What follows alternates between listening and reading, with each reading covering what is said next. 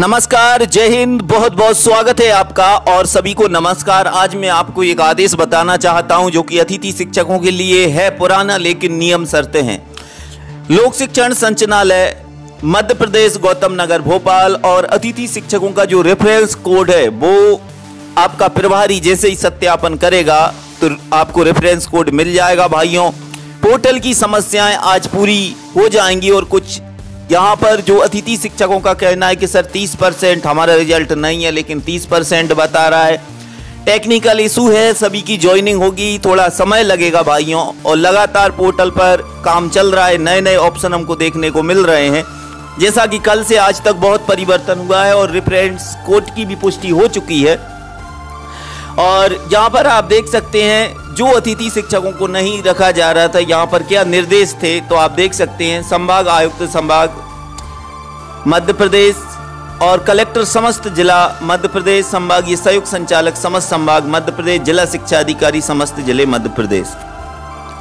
अतिथि शिक्षकों के चयन हेतु स्पष्ट दिशा निर्देश के संबंध में संभाग आयुक्त सागर संभाग का अर्ध शासकीय पत्र क्रमांक उनतीस पचास दिनांक इकतीस आठ दो हज़ार सोलह के अकॉर्डिंग। उपयुक्त विषय अंतर्गत संदर्भित पत्र के द्वारा संभाग आयुक्त सागर संभाग द्वारा मार्गदर्शन चाहा गया है कि अतिथि शिक्षकों को रखे जाने में बाध्यता पद की आवश्यकता के अनुसार बीएड अथवा डीएलएड प्रशिक्षण प्राप्त अभ्यर्थी को दी जाना है अथवा पूर्व से कार्य कर रहे अभ्यर्थियों के अनुभव के आधार पर वार्ता दी जाना है। इस संबंध में निम्न अनुसार मार्गदर्शन दिया जाता है।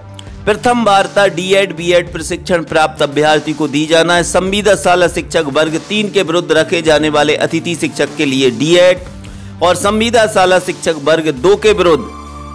रखे जाने वाले अतिथि शिक्षक के लिए डीएड, बीएड तथा संविदा शाला शिक्षक वर्ग एक के विरुद्ध रखे जाने वाले अतिथि शिक्षकों के लिए बीएड निर्धारित है।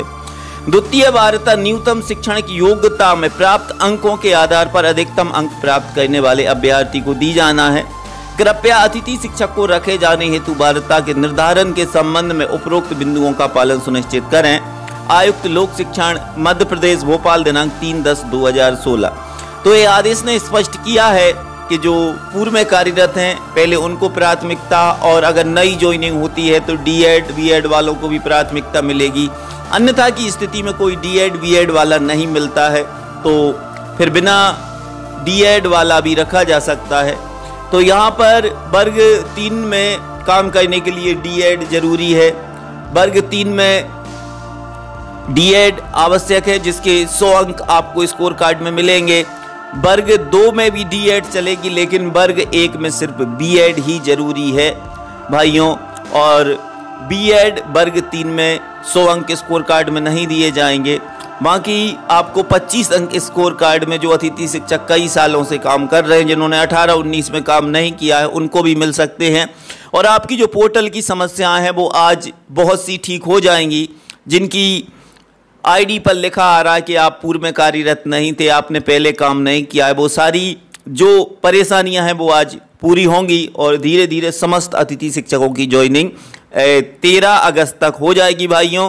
तो फिर आऊँगा एक और वीडियो में, तब तक लीजिए हिंद, जय भारत बंदे